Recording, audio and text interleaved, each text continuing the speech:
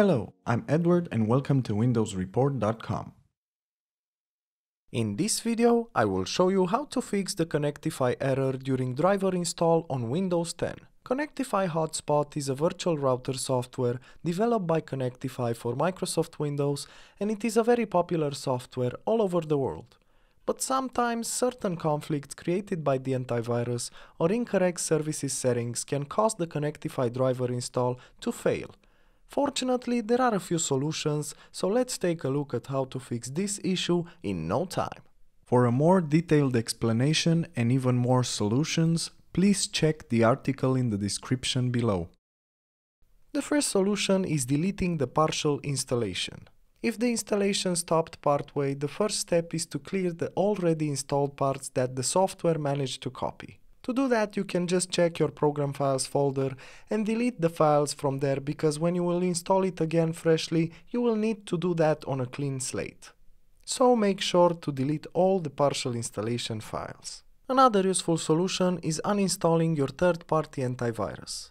According to Connectify, this issue may be caused by another application blocking the driver installation. They suggest that Kaspersky antivirus may be the culprit in this case, so if you have it installed, try to uninstall it at least temporarily. You can also solve this issue by disabling the self-defense function in Kaspersky, so make sure you try that too. You can also run a dedicated file from the developer. First of all, you have to download the driver install permissions fix patch file, which I will also post as a link in the description below, save it on your drive, and then double click to run the file. It may prompt you for administrator access and you should grant it. Then try running the Connectify installer again.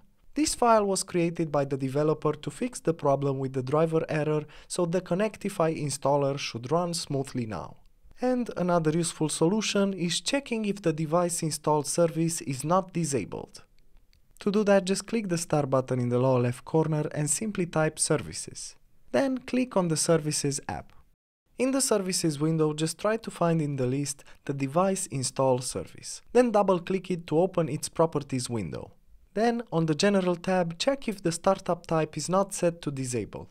If so, change it to any other option and try running the Connectify installer again. This is because if the device installer service is disabled, that would be the reason why the Connectify app can't install the driver and hence the issue. For more information and details, please check the article in the description below. If you enjoyed this video, please like and subscribe to our channel. Thank you.